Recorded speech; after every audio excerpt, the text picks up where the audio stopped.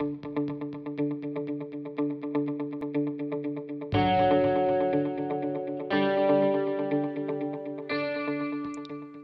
a todos. Hoy día vamos a ver cómo ubicar números enteros en una recta numérica. Es material para séptimo básico.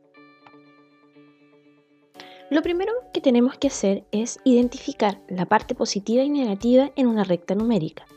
En este caso podemos observar que el 0 es quien hace esta división.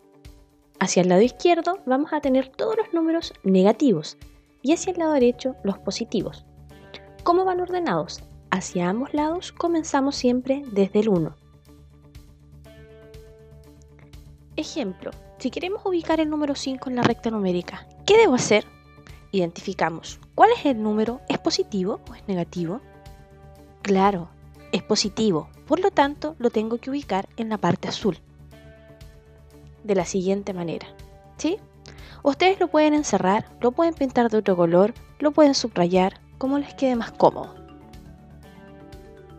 Si queremos ubicar el número menos 5 en la recta numérica, ¿qué tipo de número es? ¿Positivo o negativo? Es negativo, por lo tanto tenemos que ubicarlo al lado izquierdo del 0 y debemos contar 5 espacios hacia la izquierda. De esa forma.